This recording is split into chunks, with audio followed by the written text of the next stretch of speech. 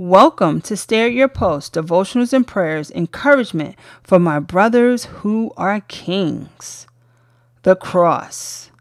Today's Bible reading is Romans chapter 5, verse 8, King James.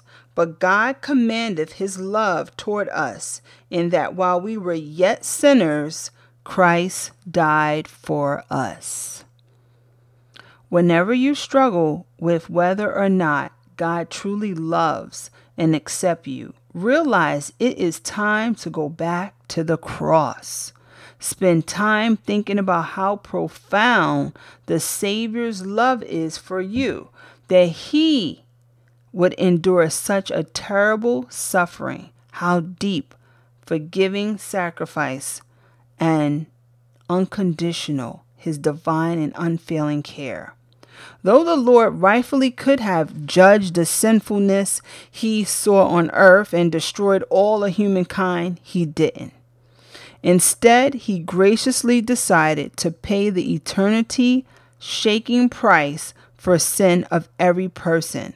Whether we acknowledge his provision or not, Jesus did his voluntarily. John 10 17 to 18.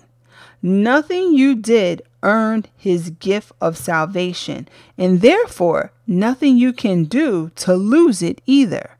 Ephesians chapter 2, 8 through 9.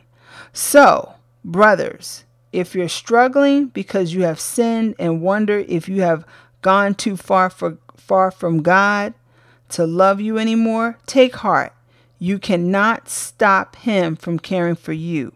He loves you at your worst. Now honor him with your very best. Jesus, I thank you right now for giving my brothers an unfailing reminder of your love at the cross. Thank you, Heavenly Father, for forgiving my brothers of their sins and giving grace and mercy to them.